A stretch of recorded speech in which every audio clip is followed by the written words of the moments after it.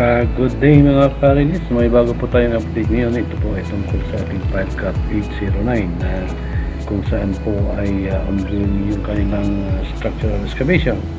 Uh, Nag-start po sila mga karinis ng structural excavation nung nakarang araw at uh, napuntahan po natin ngayon ang kanilang activity at uh, ito po at tamang-tama naman po at uh, tayo ay uh, uh, nakita po natin yung uh, pag-start ng kanilang uh, excavation o structural excavation.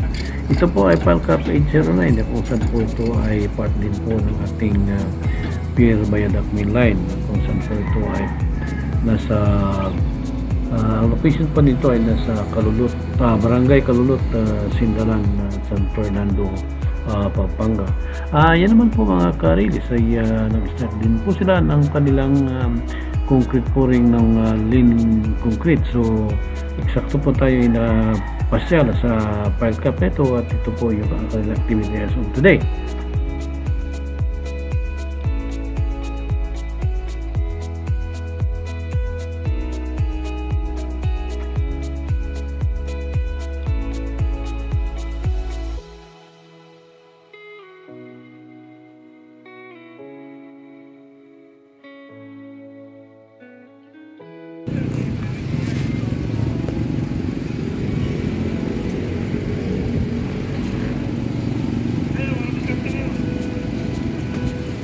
Mga kalis, ito po yung uh, file cap PH09 kung saan po ay ongoing yung kanilang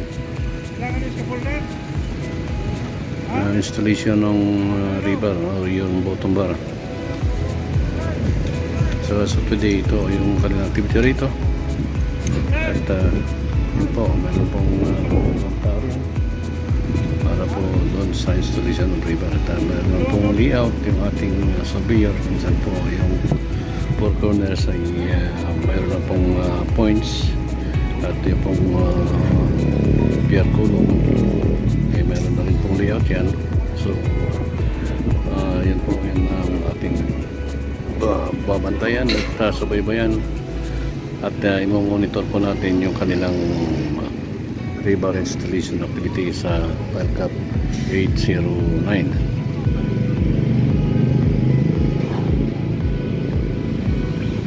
silang bottom bar um, as of now ay ayan po. Uh, ini-install nila yung bottom bar yung uh, pinaka main bus para po dito sa Palcap 809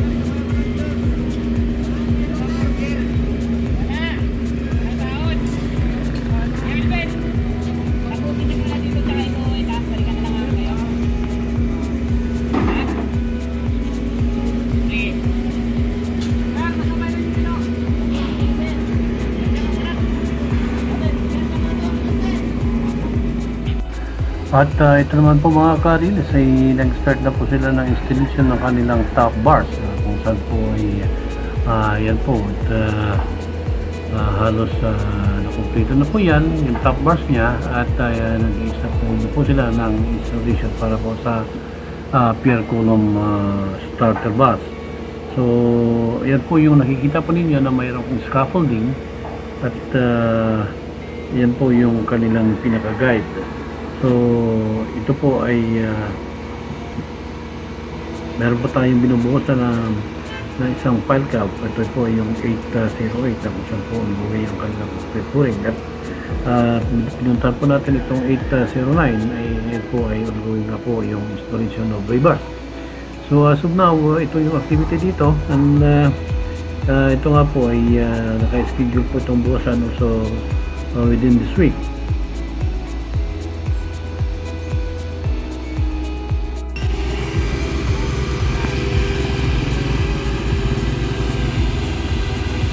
Ah, mga karilis, nandito ako ngayon sa File Cup P809 kung saan po ongoing yung kanilang river installation. At saka yun pong um, uh, starter bar nung uh, Pierre Coulomb so ito po ngayon ang activity rito. And uh, um, subaybayan po natin kung ano po mga susunod mga activity nila rito sa File Cup na ito siguro within 2 days time or 3 days time ay matatapos na nila ito at makomplete na nila. So antabayan po natin kung kailan po ang schedule ng kanilang uh, concrete pouring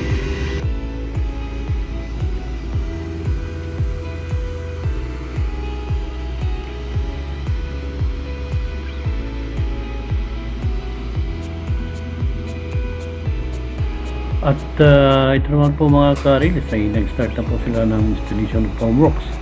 Ah, at uh, yan po, halos na kumplito na rin po yan. At uh, meron na lamang po silang uh, nilalagay ng uh, siguro mga kaunting uh, uh, rectification na lang. At uh, uh, pagtapos po nila makumplito po yan ay mag-start uh, na po tayo ng final checking of uh, uh, foam rocks at uh, yung titingnan po natin yung verticality, uh, stability at saka yung tightness ng foam rocks at uh, kung yun naman po ay nasa tama ay uh, pwede po nating uh, uh, ma-aproba na makapagbuhos po sila ng konkrito sa pagkat na ito. But as of today uh, ongoing pa rin po ang kanilang uh, minor rectification para sa foam rocks at yung pong um, uh, final checking ng rebar ay uh, isasabay po natin yan at uh, yan nga po uh, uh, naka-schedule po itong buhusan uh, uh, within this week. Uh, so kaya po ay pagkatapos po nito ng pag uh, natin ay uh, pwede po natin schedule yung kanilang pag uh, casting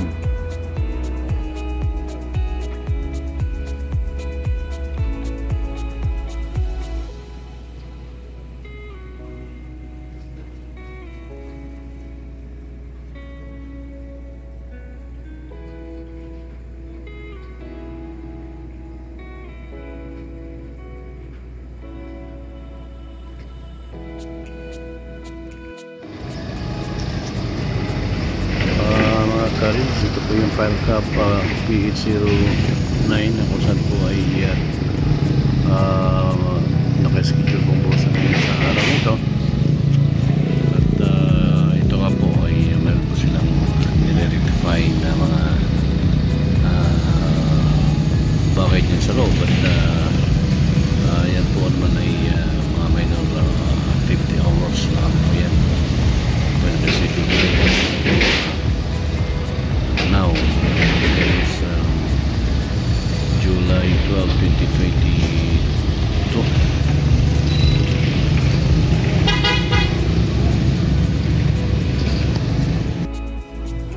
at uh, ito naman po mga ka-release ay nire-ready na po nila yung kanilang uh, uh, concrete pump. Uh, kung masan po mayroon po tayong dalawang uh, concrete pump na nakikita. Yun pong nasa kaliwa mga ka-release ay yun po yung spare. At uh, just in case na hindi po gumana yung isa ay yan po meron pong uh, isang aalalay so naka-schedule po itong buhusan ngayon ng file cap na ito sa araw nito mga ka-release.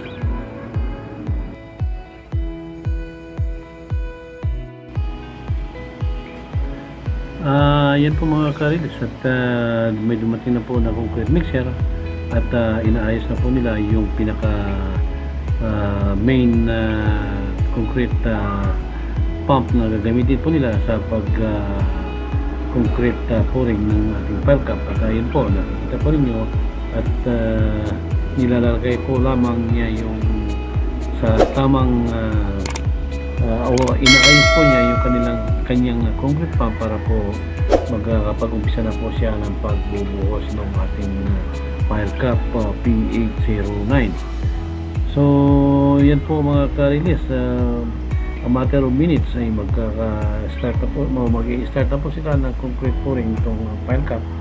At ah, titingnan po natin mga ka-release uh, pupuntahan po natin mamaya yan doon sa pinaka ah, pile cap na nabubuhusan po nila.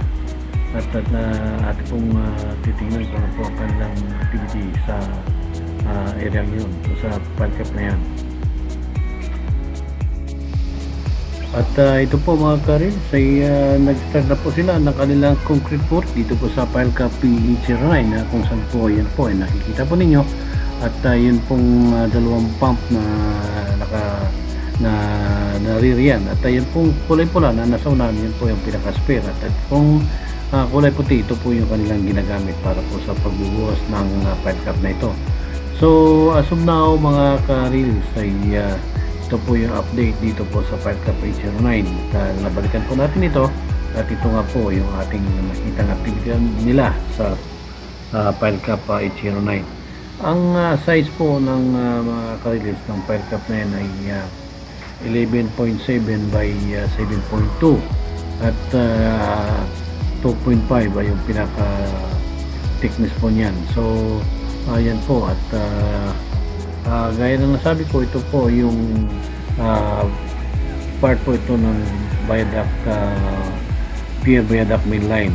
So, ito po yung mga ah, pile cap na ah, gagamitin po natin para dito po sa ating ah, railway ah, ah, construction. So, as of now, ah, ito mga karilis ang activity rito at ah, yun nga po, at tuloy-tuloy po ang kanilang pagbubuhos ng kanilang pile cap. Um, ni 09 na kung saan po ay ongoing po ang kanilang uh, pouring activity. So, uh, yan po mga ka-release. At uh, uh, gaya ng nasabi ko, ang project po ito ay kabang-abang mga ka-release dahil nga po sa uh, ito po ay part ng ating uh, Build Build Build project ng dating Pangulong at Presidente Duterte. At uh, yun nga po ay uh, marami po ang makikinabang sa proyektong ito. Gaya po ng mga taga Bulacan, Pampanga at Karating Bayan ng Tarlac.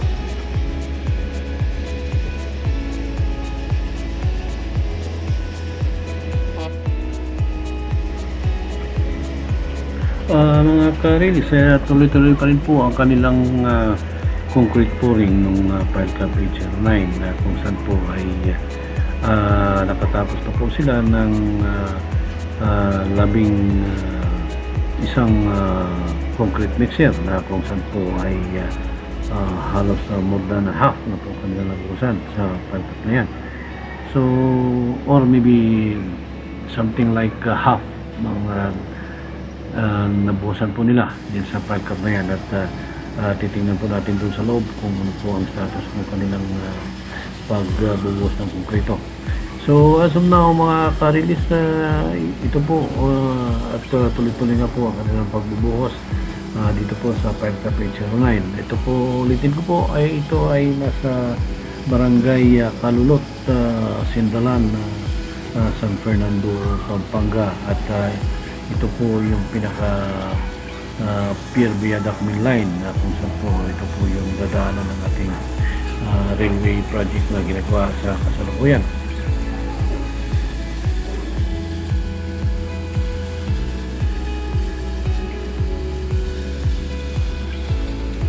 Uh, at ito na ngayon ang status ng ating uh, uh, pile cap uh, concrete pouring. At halos uh, nangalahati na po halos computer po ito. At uh, siguro mga ilang uh, transmission na lang at uh, matatapos na po ito. So as of now mga karinis ito yung pinaka uh, activity uh, main activity dito as of now dito po sa pile cap uh, 809 uh, ito naman mga karinis ay uh, pinuntahan po natin itong pinaka checkpoint concrete checkpoint nitong uh, ating uh, ginagawang uh, kasapuyang binubuosan ng file cap 809 na kung saan po ay uh, uh, dito po chine-check uh, at kumukuha po ng samples ng mga uh, uh, technician na kung saan po ay siya po ang namamahala sa pag uh, po ng mga samples at uh, uh, lahat po ng mga testing uh, materials na kailangan ay dito po nila kinukuha with regards to concrete uh, sampling. So, ito po mga ka-release at uh, yan po ay uh, um, tinitingnan, titingnan po natin kung ano po magiging uh, uh, concrete uh, temperature and uh, slump ng uh, kanilang uh, konkreto at kung nasa tama naman po mga ka-release ay uh, uh, wala po tayong problema riyan at uh, papayagan po natin. Ngunit kung ang kanyang slump and temperature is uh, more than uh, the required ay uh, may posibilidad po na hindi po nating tanggapin yan. At uh, yan po at uh, tuloy-tuloy nga po ang kanilang uh, sampling activity sa area ito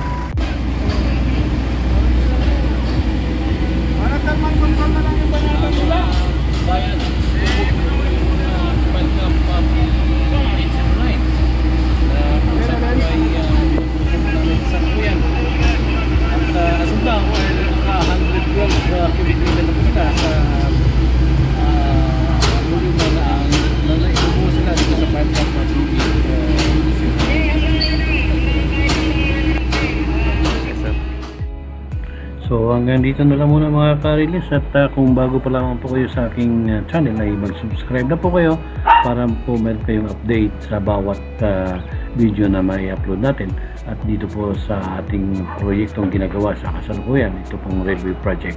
So hanggang dito na lang muna at uh, have a nice day mga ka-release.